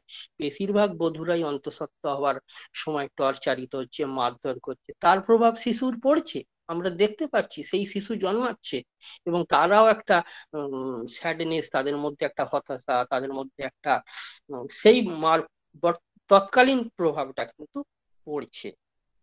এই জায়গাটাকে যদি কারেক্ট করা যায়, তাহলে কিন্তু আগামী দিনে ভালো শিশুর জন্ম হবে। এবার আমার প্রশ্ন, গিরিধর বাবুকে, উনি প্রশ্ন করতে বলেছেন। শুধু প্রশ্ন করতে বলেছেন বলেই প্রশ্ন করেছি না, প্রশ্নটা আমার মনেরও এই সমস্যাটাকে কি হোমিওপ্যাথিক ট্রিটমেন্ট দিয়ে কারেক্ট করা যায়? যদি যায়, কীভাবে যায়? যদি না যায়, কেনই বা যায় না? যাই হোক, এই একটা প্রশ্ন রইল আমার। দ্বিতীয় প্রশ্ন হচ্ছে ডক্টর বেথুনের কথা উনি বলেছেন এবং বলেছেন টিউবার কিউলি নামের পেশেন্ট সব ঠিক আছে, কারণ তার মধ্যে একটা চেঞ্জিবিলিটি ছিল, অস্থিরতা ছিল। এবং টিউবার কিউলার ডায়াথিসিসের ক্ষেত্রে উনি টিউবার কিউলি নামের কথা বলেছেন। আমার ওইখানটাতেই প্রশ্ন যে টিউবার কিউলিন কিউলার ডায়াথিসিস হলেই কি টিউবার কিউলি নাম? আরও তো অনেক মেডিসিন আছে স্যার ক্যালকেরিয়া কার্ব আছে ফসফরাস আছে সাইলেসি আছে লিভার আছে। এগুলো কি প্রযোজ্য প্রযোজ্য হতে পারে না? যদি সিমটমস তার সিমিলারিটি থাকে? এই একটা প্রশ্ন। দ্বিতীয় কথা, এই শিশু মনের বিকাশকে মায়াজমেটিক ভাবে, অর্থাৎ আমরা যদি হোমিওপ্যাথিক ভাষায় বলি মায়াজম, এই মায়াজমকে কি শিশু মনের বিকাশ থেকে দূর করা সম্ভব? যদি সম্ভব হয়, কেমন করে? যদি না সম্ভব হয় সেটাই বা কেন? যদি আগামী দিনে এর বিস্তারিত আলোচনা করেন খুবই খুশি হব। কারণ এই প্রশ্নগুলো আমার মনের মধ্যে জেগেছে। সকলকে ধন্যবাদ। আজ এইটুকুই বলি। হ্যাঁ ভাই পরের ক্লাসে হবে। আজকে আরও বক্তা আরও সংযোজনী সংযোজন করার জন্য এখনও অনেকে আছে। তো এটা পরের ক্লাসে হবে। আমি কথা বলে নেব। কেমন? ধন্যবাদ দাদা। ধন্যবাদ স্যার হ্যাঁ, ধন্যবাদ। ধন্যবাদ আহ, দুইজন স্যারকে সুশীল স্যারকেও ধন্যবাদ এবং গিরিধর বিশ্বাস স্যারকে ধন্যবাদ। এবং আপনার প্রশ্নটা খুব ভালো হয়েছে সুশীল স্যার। এবং আজকে আমরা কোনো প্রশ্ন কারোর থেকে নেব না কারণ আমাদের সবে স্যার আজকে শুরু করেছে স্যার অনেক বলার কাছে এবং আমরা স্যারের কাছ থেকে অনেক কিছু জানব। আজকে শুধু আজকের টপিকটুকুর উপরে শুধু জাস্ট সংযোজনটা নিচ্ছি যাতে পরের দিন এই সমস্ত বিষয়ের উপরে স্যার নতুন করে আলোকপাত করতে পারেন ধন্যবাদ সবাইকে। এরপরে আমরা যাব ডাক্তার পার্থপ্রদীপ স্যারের কাছে। ডাক্তার পার্থপ্রদীপ স্যার, আপনি আজকের টপিকের উপরে কিছু আলোকপাত করুন। ধন্যবাদ, কল্যাণ। ধন্যবাদ আজকের স্পিকার গিরিধর বিশ্বাস স্যার। এবং ইতিমধ্যেই যারা এর উপরেতে নোট দিলেন এবং জ্ঞান গম্ভীর আলোচনা আমি তন্ময় হয়ে শুনছিলাম, ধন্যবাদ জানাই নীলকমল বর্মন স্যারকে, এস এম জাহাঙ্গীর স্বপন ঘুরে মোহাম্মদ আব্দুল হালিম দীপন সুশীল ঘোষ সকলকে তাদের খুব মূল্যবান বক্তব্য প্রেজেন্টেশন করার জন্য। আমি এই শুনছিলাম আর ভাবছিলাম সেই ঐতিহাসিক দিন থেকে যদি আমরা গৌতম বুদ্ধদেবের কথা ধরি, দেখা যাচ্ছে রাজার ছেলে বুদ্ধ বিয়ে থাকা করে, সন্তান লাভ করে, তারপরে সবকিছু ছেড়ে চলে গেল। সিদ্ধার্থ হলো বুদ্ধ। না খেয়ে দিয়ে সুজাতার কাছে পায়েস খেয়ে তবে তার জ্ঞানের হৃদয় ভগবান পুত্র যীশু খ্রিস্টের পিতৃ পরিচয় পাওয়া যায় না কুমারী মায়ের গর্ভে সন্তান জাত। আর মহাভারতের রচয়িতা ব্যাসদেব এবং জার্মানের একটা একক অধিপত্য? আধিপত্য বিস্তার করেছিলেন যিনি, হিটলার। শোনা যায় নাকি এদেরও পিতৃ পরিচয় নেই। আবার বর্তমান যুগের অ্যাসপেক্টে দেখা যায়, যেখানে বাবার কোনো দরকারই নেই। ক্লোন করছে। ক্লোন করে যখন কোনো জীবজন্তু জন্মায়, মানুষেরও ক্লোন করা সম্ভব। বিজ্ঞান দিয়ে যদি বলা হয়, তাহলে সেখানে বাবার কোনো দরকার নেই। যাই হোক, এসবগুলো আমি ভাবছিলাম আর কি। আবার সবকিছু হলো দৈত্যকুলে প্রহ্লাদেরও পরিচয় পাই। আসলে এগুলো যেন এই যোগ বিয়োগের হিসেব দিয়ে ঠিক বোঝা যায় না সাথে দিলেও সবকিছু করা যায় না। প্রতিভা যে কি করে আছে এ রহস্য আমার জানা নেই।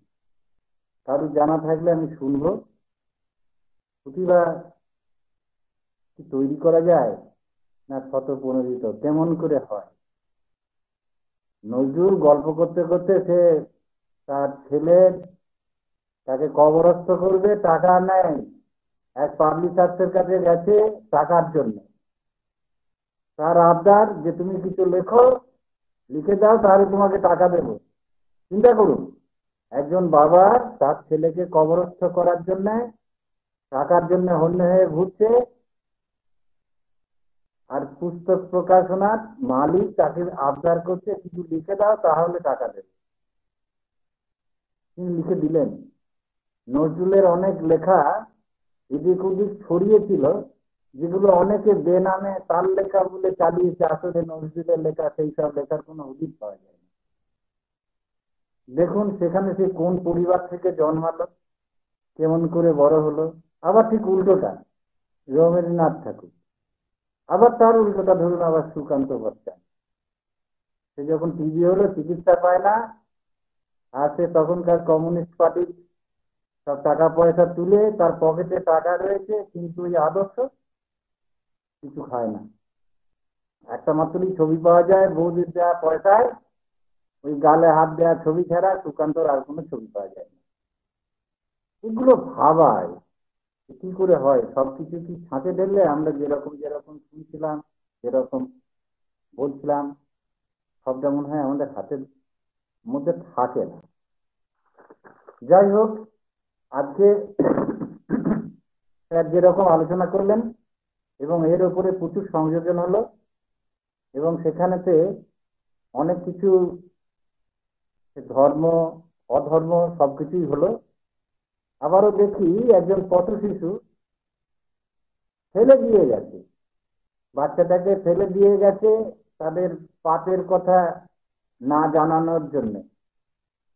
সেখান থেকেও কিন্তু অনেক প্রতিভাবান সেসব এসেছে, তাদের জানা যায় না। তাহলে সে তার পরিচর্যা করল, কে তাকে শেখালো? যাই হোক কোশ্চেন তো অনেক, উত্তর পাই না। জানা নেই, আমার জানা নেই। মানে ভালোবাসা? যুধিষ্ঠিরকে পাঞ্চালি প্রশ্ন করছে, তোমাদের সখা তো শ্রীকৃষ্ণ তোমাদের এত কষ্ট কেন? তখন যুধিষ্ঠির বলছেন হিমালয়কে দেখিয়ে, দেখো দেখো, প্রিয়ে, ওই দেখো হিমালয়। কি সুন্দর হিমালয়। আমি তন্ময় হয়ে তাকিয়ে তাকিয়ে দেখি হিমালয়কে। আমি হিমালয়কে বড় ভালোবাসি। এই যে বড় ভালোবাসি হিমালয় তাকে কি ভালোবাসা? জড় পদার্থ। রবীন্দ্রনাথ বলছে, গোলাপ ফুল সুন্দর, তোমার মনটা সুন্দর বলে সদ্য সন্তানহারা পিতাকে যদি গোলাপ ফুল দিয়ে সোহাগ করতে যাওয়া যায়, তার কি ভালো লাগবে? তাহলে বিষয় হলো, ঠিক আছে, আমরা ধরে নিলাম একজন শিশুর জন্য তার বাবা মা দরকার, এখন কোলনের কথাটা আমি উজ্জুই রাখলাম। একদম স্বপন যেটা বলেছে, আজকে যেটা সাবজেক্ট শিশু মনের কথা এখনও আসে নাই, আসলে শিশু এখনও জন্মায় যখন সে মাতৃ গর্ভে রয়েছে, সেই সব কথা হলো, আমরা চিকিৎসার আলোকে যদি দেখি যে ওই গর্ভকালীন অবস্থায় মা যদি বিশেষ বিশেষ কিছু রোগের শিকার হয়, সেই সমস্ত শিশু কিন্তু প্রত্যক্ষভাবে কিছু দোষ নিয়ে জন্মায়। বাবা মায়ের মধ্যে যে মায়াজমের প্রভাব থাকে সেসব তো তার মধ্যে থাকেই। কিন্তু যখন একটা অ্যাকুট ম্যানিফেস্টেশন যেমন ধরুন একটা স্কারলেট ফিভার বা স্মল পক্স এই ধরনের যদি কিছু হয় এমনকি ম্যালেরিয়া বা এই বর্তমানে যে প্রাণঘাতী যেই সমস্ত ইনফেকশাস ডিজিজগুলো দাপিয়ে বেড়াচ্ছে, সেই ধরনের অসুখ বিসুখ হলে সেই গর্ভস্থ শিশুর উপরে তার মারাত্মক প্রভাব পড়ে। আর আমরা তো দেখি, আমরা তো এগুলো ম্যাথামেটিকা থেকে যেমন জ্ঞান আছে, এবং আপনারা যারা অনেকদিন ধরে প্র্যাকটিস করছেন, তারা তো দেখছেন। একটা ব্রেস্ট ফিলিং মায়ের একটা রাগ অবস্থায়, একটা ভয়ের অবস্থায়, বিভিন্ন রকমের যে মায়ের মানসিক অবস্থার পরে পরে, যখন সেখানে ব্রেস্ট ফিডিং করানো হচ্ছে, তার ইফেক্টগুলো কিন্তু সেখানে পড়ছে। সেই শিশু ওপরে তার ইফেক্টগুলো আমরা দেখতেই পাই। তাহলে সে যখন মাতৃ গর্ভে রয়েছে, ওই অভিমন্যুর গল্প শুনলাম ঠিকই। থাকেই তো, সেগুলো তো শুনতেই পায়। তবে এগুলো বৈজ্ঞানিক প্রমাণ কেমন করে করেছে, এসব আমার জ্ঞানের বাইরে, এসব শুনিও নেই। তবে এরকম শুনে থাকি আর কি, হয়তো আধ্যাত্মিক দিক থেকেও সেটা হয়, আর বিজ্ঞানেরও সেই সব আছে। মানে এই ধর্মের মূলকে বিজ্ঞান শেখানো যাই হোক, কিছু কন্ট্রাডিক্টরি কথাও ছিল এই ভালোবাসা নিয়েও, সে অনেক কথা হয়েছে, আমি সব জানিও না। তাহলে আমরা দেখলাম স্যার গিরিধর বিশ্বাস এরকম বললেন, যে বংশগতি লাস্ট পার্টে উনি যেমন বললেন হেরিডিটি প্লাস এনভায়রনমেন্ট আর স্বপন যেখানে জুড়ে দিল আর কি শুধু মা বাবা নয়, তার পরিবার, তার পরিবেশ, কোন সমাজ ব্যবস্থার মধ্যে সে মানুষ হচ্ছে, সবকিছুই তাকে প্রভাবিত করে। যাই হোক নর্মান বেতনের কথাও শুনলাম এবং সুশীল ওটা জানে যে এখানে শুধুমাত্র টিউবারকুলি নামেই যে হবে এমন নয় টিউবারকুলার ডায়াবেটিস হলে সে টিবিতে আক্রান্ত হতেই পারে এবং নর্মান বেতন যেহেতু টিভিতে আক্রান্ত হয়েছিলেন, অতএব সে যে টিউবারকুলার ডায়াবেটিসের পেশেন্ট ছিলেন, কোনো সন্দেহ নেই এবং তিনি যে এদেশ ওদেশ ঘুরে বেড়াতেন এবং তার যে খ্যাপাটে স্বভাবের মানুষ তিনি যে এক জায়গায় স্থির থাকতেন না, এমনকি তার রোগ আক্রান্ত সময় তার বউকে ডিভোর্স দেওয়াতে বাধ্য করেছেন, আবার ভালো হয়ে গিয়ে তিনি তার সাথে যুক্ত হতে চেয়েছেন। একটা ফিজিক্যালনেস একটা যে চঞ্চলতা মনের মধ্যে, এটা সত্যি সত্যি টিউবারকুলার ডায়াবেটিসের পেশেন্টের মধ্যে পাওয়া যায়। খুবই জানে, এটা শুধুমাত্র টিউবারকুলি নাম বা বেসিলি নাম দিয়ে চিকিৎসা করতে হবে, এমন কথা নয়। আমাদের যেটা সিমটোম্যাটোলজি থাকবে সেই হিসেবে আমাদের আসবে অবশ্যই। তার সাথে একটি মায়াজম যেটা, সেটাকে আমাদের যোগ করতে হবে। সবকিছুই পরিবেশ পরিবেশ সবকিছুই রয়েছে আর শুধু স্থানকাল পাত্রের কথা আমাদের অবশ্যই বিবেচনা করতে হবে। স্যার গিরিধর বিশ্বাস যেমন বলেছেন যে পড়াশোনার কথা, তা এখানে হ্যানিম্যানের কথাও হচ্ছে তাই। শুধু পড়াশোনা নয়, পড়াশোনাটাকে নিয়ে ভাবতে হবে। সেইটাকে নিয়ে মনন করতে হবে। এখানে সবসময় আমাদের যে জায়গাটা খেয়াল করতে হবে, সেটা হচ্ছে অপারেন্ডিটা কোথায়। হ্যানিম্যান একটা জায়গায় বলছেন হ্যানিম্যানের কথা দিয়ে বলি, যে মেয়েদের মা হওয়ার আগে তাদের সন্তানের পরিচর্যা করা, তাদের শিক্ষা কেমন করে হবে এইসব বিষয়ে তাদের একটা এডুকেশন নেওয়া দরকার আছে। হ্যানিম্যান বলছেন। ফ্রেন্ডস অফ হেলথ তার লেসার রাইটিং সম্ভবত ফ্রেন্ডস অফ হেলথও থাকতে পারে। যাই হোক, লেসার রাইটিং এর মধ্যে ফ্রেন্ডস অফ হেলথ আছে। তো ওখানেই কিন্তু মেয়েদের বিয়ের আগে বা সন্তান লাভের আগে তাকে এগুলো শিক্ষা লাভ করতে হয়। কেমন করে সে ড্রেস ফিডিং করাবে, কেমন করে শিশুর পরিচর্যা করতে হবে এই সবগুলো না জেনে শুনে পনেরো বছর বয়সে এখন মা হয়ে গেল, সেখানে তো গোলমাল হবেই। কাজেই হেনে মেনে নির্দেশনাটা আমাদেরকে মাথায় ঢালতে হবে।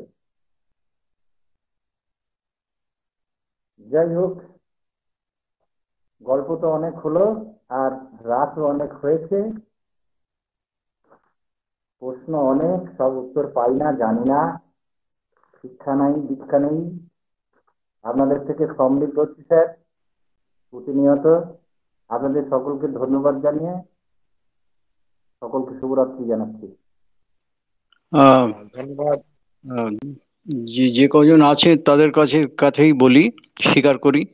জীবনে যে আনন্দ যতদিন পেয়েছি তার মধ্যে এটা বোধহয় শ্রেষ্ঠতম। যে আজকে আমার আলোচনা নিয়ে এত জ্ঞানবন্ত সংযোজন বা আলোচনা হলো। মানে ভাবতে পারেনি যে এতটা মানে গুরুত্ব দিয়ে সবাই আলোচনা করবেন। মানে আশা করছি আগামী দিনেও আপনারা পাশে থাকবেন। উত্তর, আমার কথা হচ্ছে উত্তর আমি একা দেব না। একা দেব কেন? মানে উত্তর সবার কাছ থেকেই আদায় করতে হবে যারা সবাই সবার পরিপূরক। যেমন স্বামী স্ত্রী একে অন্যের পরিপূরক, তেমনি আমরা সবাই সবার পরিপূরক। এই এই সাহস নিয়েই আমি নেমেছি। আশা করি এই সাহসটা আপনারা দেবেন। এই বলে শেষ করছি। নমস্কার। আচ্ছা ধন্যবাদ স্যারকে অবশ্যই স্যার। সুশীল আমাদের এখানে আচ্ছা হ্যাঁ আছে? হ্যাঁ আছি আছি আছি দাদা আছি। হ্যাঁ হ্যাঁ হ্যাঁ তুমি চক্র বুদ্ধ বলছিলে কিন্তু আমি জানি ওটা চক্র বুহ বুহ বুহ বুহ চক্র বুহ ঠিক। হ্যাঁ হ্যাঁ হ্যাঁ তোমার ওই কথাটা একটু সংযোগ মানে কারেকশন করাটার একটু বিষয় ছিল। আর অবশ্যই হোমিওপ্যাথিক ট্রিটমেন্ট দিয়ে তো তাদের কারেকশন করা যায়। তুমি স্যারকে লিডার ঈশ্বর স্যারকে কোশ্চেনটা করেছ তুমি জানো। অবশ্যই অনেক না হলে আমাদের আর চিকিৎসার প্রয়োজন কোথায়? হোমিওপ্যাথির প্রয়োজনই বা কি আছে? স্যার মহাভারত তো অত পড়িনি যেটা শুনেছি চক্রবুদ্ধ বা চক্রগ্রহ যাই হোক জিনিসটা বলতে চাইছে এই একই আর কি। ওকে ঠিক আছে সুজিত স্যার আপনি আপনি উঠুন। হ্যাঁ অবশ্যই আপনাদের মহামূল্যবান আলোচনাতে আমরা সবাই অসম্ভব সমৃদ্ধ হলাম। আমাদের এখানে তো ম্যাক্সিমাম লোকজন চলে গেছেন। বাকি যারা আছেন, তাদের সুশীল স্যার একটা প্রশ্ন রেখেছেন। যদি আর কারোর কোনো প্রশ্ন থেকে থাকে, তারা আজকে তাহলে গিরিধর বিশ্বাস স্যারকে করে রাখুন। আগামী দিন গিরিধর বিশ্বাস স্যারের ক্লাসে আপনাদের সবার প্রশ্নের উত্তর দেবেন। ধন্যবাদ সবাইকে। হোমিও উদ্দীপনার শেষ পর্যন্ত আমাদের আজকে অনেকে এখনও পর্যন্ত রয়েছেন। আপনারা আছেন বলেই আমাদের পথে চলার অনেক পাথেও আপনারা। ভালো থাকবেন, ভালো রাখবেন, এই বলে আজকে অফিসিয়ালি ক্লাসটি শেষ করলাম।